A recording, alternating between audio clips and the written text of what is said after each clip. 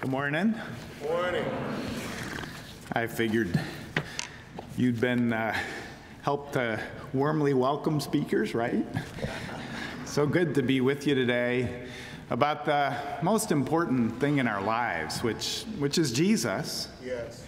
and the news about Jesus. And today I want to ask here's my title, hang on with me through it. Why doesn't the good news, the gospel, feel like news? And why doesn't it feel sometimes to us good?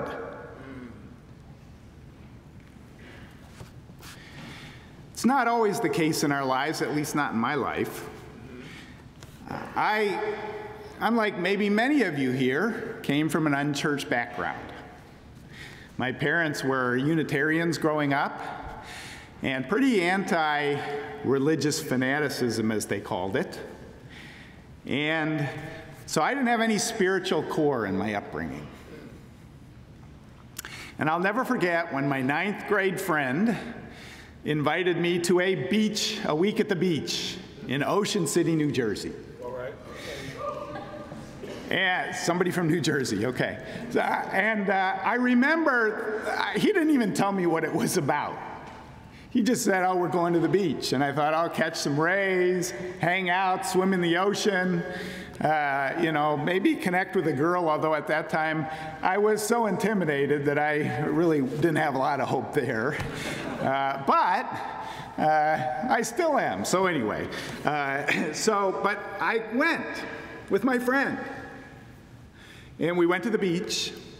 And uh, every night it turned out that the cost of admission was you would go hear people preach and a lot of music and get challenged to give your life to Christ.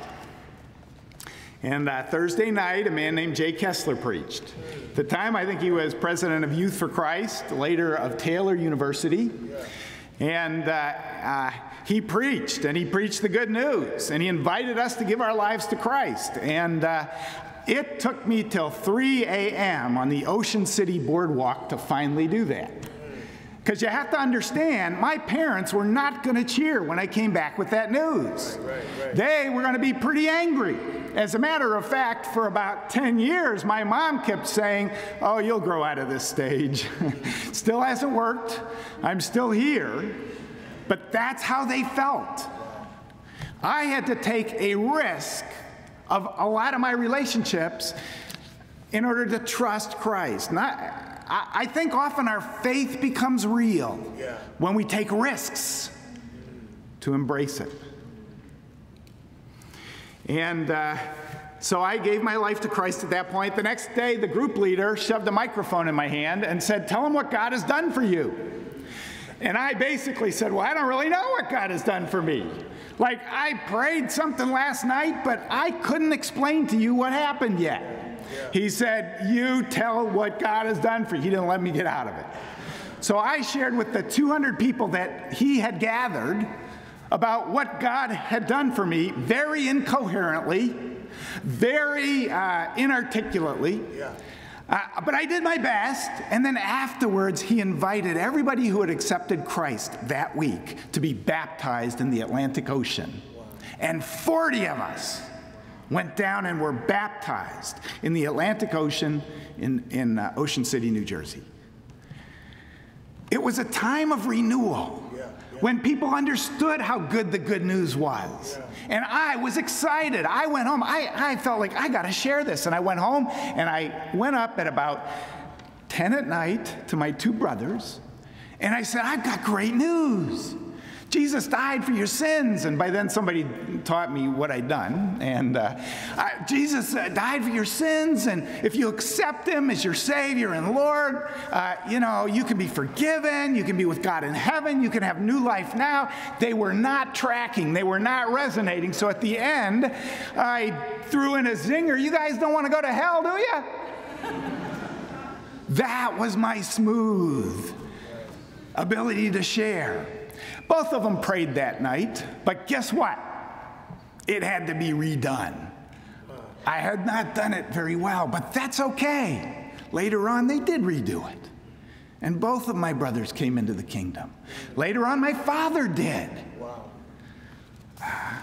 I'll talk about my mother right at the end. Uh, so I remember going to college then. I'd actually drifted some away from faith, but I got renewed. I remembered how good the good news was. I came back to Christ. And I remember talking to my friend, Scott uh, uh, Stringfellow, and I invited him into a little Bible study. We met for six weeks, uh, except we only got to the first week. Because on God as creator, he said, This is great, Rick. How do I do it? Well, by then I'd forgotten again. I couldn't tell him how to do it. I, I said, Do what? He said, Uh, you know, come to Christ or whatever. He said, Well, I don't know, but I got this booklet. And I sent him home with a booklet. And he read it. And he called me the next day and he said, Rick, I did it. And I said, That's fantastic, Scott. What'd you do? And he taught me again the good news and how you invite somebody into that. I have been very excited at points in my life about the goodness and the newsiness of the good news. But I've drifted sometimes. I've kind of gone away from it. Why, why, does that happen? You know, I think for me, uh, sometimes it's happened uh, because I've heard it enough times that you've heard the saying, familiarity breeds contempt. Well, maybe not contempt, but at least maybe a little bit of apathy. All right. I think sometimes, too, I've moved on to the advanced issues of racial, racial justice and, and of other things that are gospel issues at the end of the day, because everything's a gospel issue. Yeah, yeah. But, but I got so focused on those things that I kind of forgot the core. I drifted away from it. At one point, I interviewed a student who'd been part of a, an urban project we'd done about six months later. I actually did that for my dissertation. And I, I asked how it was going, and he said, Well, you know, I just found out last night at my large group meeting that Jesus forgives sin.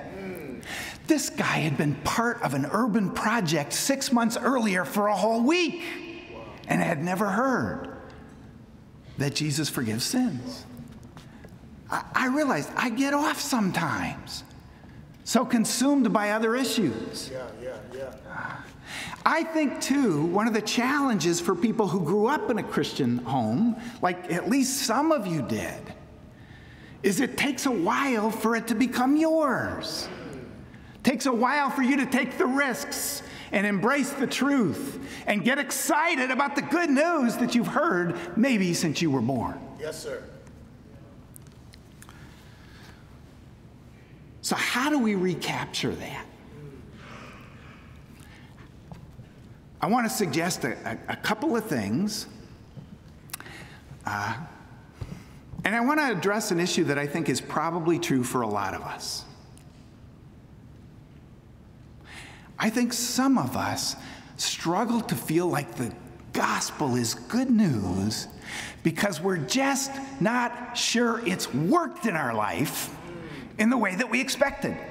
We're just not sure it's as powerful as everybody up here says it is. Wow. We're just not sure that it actually has the power to change the world. Yes, sir. And I want to address that. So, what's the gospel? It was read today, right? I passed on to you as a first importance that Christ died for our sins according to the scriptures, that he was buried, and that he was raised on the third day according to the scriptures, yes, and that we, including the one who's writing Paul, know that happened because we actually saw it. We saw him. You know, Jesus is the center and the sum and the substance and the circumference of the gospel. Yes. And if we are recaptured by Jesus, we're always recaptured by the gospel. Mm. Amen. So Jesus died for sins, for self centeredness, for self will, for self destructiveness, for both the wounds and the ways we've wounded others. Jesus died for sins, according to scriptures. And Jesus was raised for new life. Amen. He is the forerunner for all of us. What he has done in rising from the dead is a picture of what we will all do.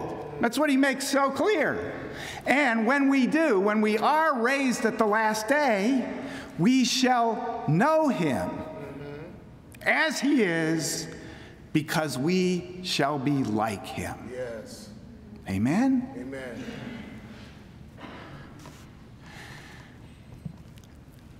Forgiveness of sins, new life, everlasting life.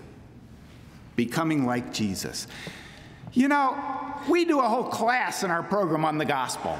We make it complicated. We uh, break it down one way and this way, and we understand how it happened and all the theories and all the models and all of that stuff. But you know, the gospel is simple enough for a three year old or a six year old or an eight year old or someone struggling to get it. Yes, sir. And have their lives change. Yes. And sometimes we make it so complicated because we're trying to get over some of our apathy over the simplicity. But I tell you, once we lose the simplicity, we lose the power to preach it. Amen. We lose the power to communicate it. We lose the power to embrace it. Wow. And Paul just breaks it down. He makes it so simple. And it's simple for all of us, friends. I don't care what you've done, I don't care what I've done. Jesus' death has taken care of our sin. Amen. The wounds and the sins and the self centeredness and the self orientation and the ways we hurt people and our lusts and our imaginations and all of it. Yes, sir. That message should never get old because we need it every day. Yes. We need the gospel not just when we first come to Christ, we need the gospel every single day, sometimes every single minute. Yes.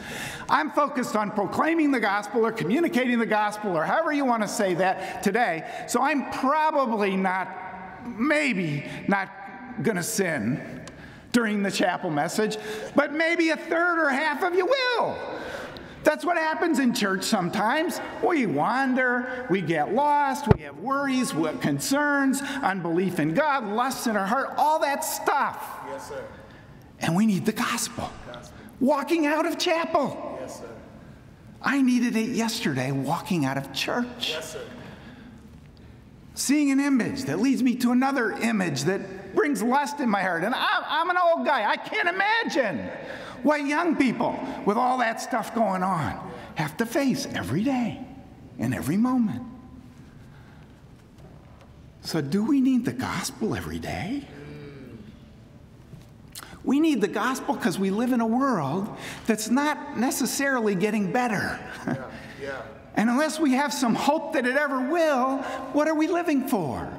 What do we have to look forward to? What do we base confidence on? And we have this hope that Jesus returns and makes all things new, including you and me in our communities. But we also have good news for now. Because the gospel isn't just about life with God sometime in the by and by. It's actually about how Jesus, because of his forgiveness, can now be one with us. As a mentor of mine once put it, another lives in you, another lives in me. The most fundamental truth about the gospel in the here and now is you are in union with Christ. Everything that happened to Christ, everything He did, He did for you. You are in Christ. Christ is in you, the hope of glory. And that life of God is the most significant thing about us because it determines our identity and our ultimate destiny. Yes, sir. Here's, though, where I want to get into that issue it doesn't always seem to work as well as we'd hoped it would. Can anybody give me a, an amen there? Amen. Are there times when we just feel like I keep facing the same thing? I keep having the same struggle. I keep losing my mind in this way or that way. I, I have that feeling. And I say, man, if the gospel is so transformational, why doesn't it do more in the here and now? I know some of you have that question. Yeah, yeah. I know you do. I know some of you don't have confidence in the gospel because you haven't seen the power of it in the here and now.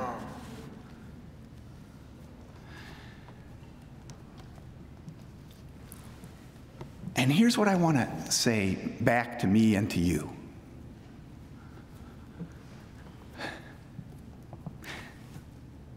The good news is already, and it's not yet. All of its power has not been fulfilled, but it is what will lead to that day when we shall rise with Christ and know him because we will be like him. At the same time, because Christ has died and we stand forgiven and cleansed, and with the righteousness of Christ closing us, God can be one with us.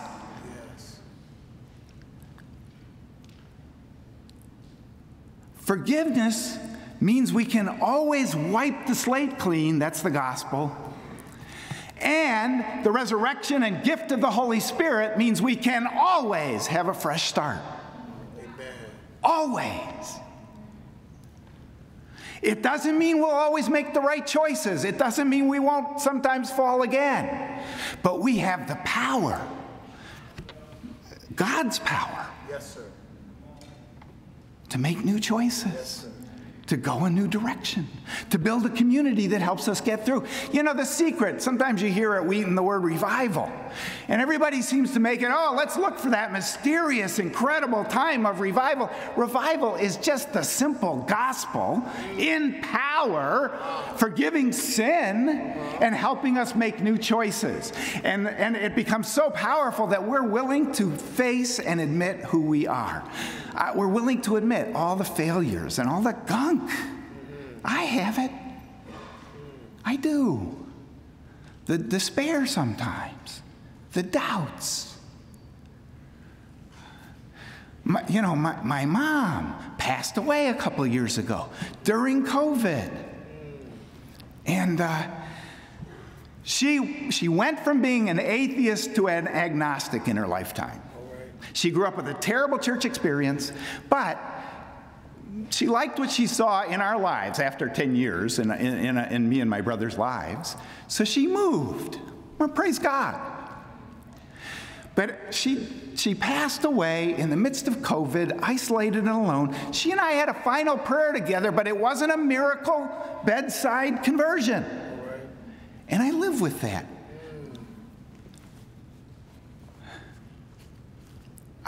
I want the gospel in our world to have all the power that I want it to have. Yes. but I tell you, it has more power than anything else in the universe Amen. in our here and now Amen. because it's God, since we have been forgiven, who's made union with us. Another lives in us. And that determines our identity and our destiny. The gospel's news because it's history. It's very surprising news. We can become a little bit numb to it, but it's very surprising news. It's history a death and a resurrection that changed history. Events that still make our life possible today with forgiveness and new life and eternal life. It's history. And it's really, really good. Sometimes it doesn't do all the things we want it to because we're still in a fallen world, sinful people, struggling, facing death, and all of that stuff. I know. But it is the power of God for salvation. Yes, sir. It is the power of God for the transformation that is available to every one of us here. So I want to make a couple of challenges to end. I want to tell you a story. and hopefully, make, hopefully the story will make you think a little bit. Uh, when I was six years old, my dad was in the military, and we were on a military base in North Carolina. And uh, I was six, and then I had two brothers, four and three. And across the way were Uncle Joe and Auntie Claire. They weren't really uncle and auntie, but they were close friends of our family. And they uh, had three girls six, Robin, four, Mike's age, and three, Christopher's age, my youngest, Al and Allison. And, at, and I, want, I do want to let you know, for transparency, is Annie Claire and my mom spent years trying to get at least one of us to marry one of them. years! I'm not kidding you. Uh, I don't think they helped. Who knows what might have happened if they hadn't tried so hard, but it didn't work. But every Friday we went out to the beach, and it was a blast. Playing in the waves, being in the uh, ocean, uh, you know, building sand castles, and then Friday afternoon, every Friday afternoon, we'd pile back into the, a big ugly green station wagon and make our way back to the military base. That was our Friday ritual. And uh, one Friday, we're driving back, and Allison, the youngest, three years old, says, Where's Chris? And uh, Chris was a trickster, even at three, he still is. So we looked under the beach blankets, we looked in the wheel well. No, Chris. We're 40 minutes away from the beach at this point. I go, hey, mom, Chris isn't here. She thought I was kidding, so she went like that. And then she realized I wasn't kidding. She went, what? Like that. Only that was a lot lower pitched than what she did. And at that moment, when she really believed the news that Chris wasn't there, we went on the rides of our lives and almost the ride that ended our lives. My mom grabbed the steering wheel and whipped it around and hit the accelerator and the, and the brake simultaneously in traffic a four lane highway. We, I'm, I'm not kidding you, we did a wheelie on the two side uh, uh, uh, station wagon wheels uh, while we're, uh, we actually bumped. And then she realized, oh, this is traffic's coming at us. I better cross the median. So she crossed the median. She hit the accelerator at that point, and she got that big, ugly green station wagon up over 100 miles per hour. I'm not kidding you. Yeah, it's going, you know. 40 minutes took us 20 minutes.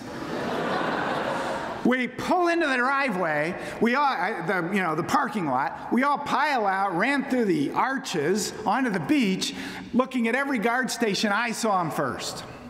There he was off in the distance. And I said, Mom, Mom. And then I go, Chris, Chris. And, and uh, you know, my mom turned and saw Chris. Chris had this big tear on his eye. I still remember it. I'm from six years old. And he turned and he saw my mom. They ran together. They started twirling. It was like a cheesy Hollywood ending. And, it was, and we were all like waterworks, right? Powerful moment. Just before we'd noticed Chris wasn't there, we were singing a song called Noah's Arky Arky. Um, I've tried this. Not all cultures sing this song. Uh, how many of you know that? It's like 26 verses. Boy, it's, it's my generation, isn't it? Noah's Arky Arky. And it's like 26 verses. We were on verse 21. We noticed Chris wasn't there, and thus began the ride of our lives. And I've thought since my mother was at that moment a picture of God's passion for the people who ought to be here with us in the community who aren't. And she would have done anything, given anything, paid anything, and risked anything, including us, to go get that person who ought to be here who wasn't. And I want to just end with this challenge. If you haven't refreshed or embraced the good news in your life, it's never too late. And if you need to embrace it again, and walk out of chapel confessing your self centeredness and trusting Christ for forgiveness and committing to Christ as leader, go for it. But there's all these other people we love who ought to be in the station wagon who aren't in the community but and who aren't. You have them high school friends family members extended family members people in your life that you care about. I want you to know more than anything else in the world i want to see my mom yes, with christ in heaven. And i pray god i did everything i could during my lifetime to communicate what I could. And I want to encourage you, as you're leaving chapel, to think about somebody. See, you'll see at Thanksgiving, or somebody at another college. And you just think, I'm going to text them. I'm going to pray for them this month. I'm going to look for an opportunity to just talk about the struggles in my life and how God's made a difference. Not a cheesy story, a real story, raw. But that really does talk about how God's in your story. And look for curiosity. And look for a chance to let people in on the offer of forgiveness and new life and everlasting life. Amen.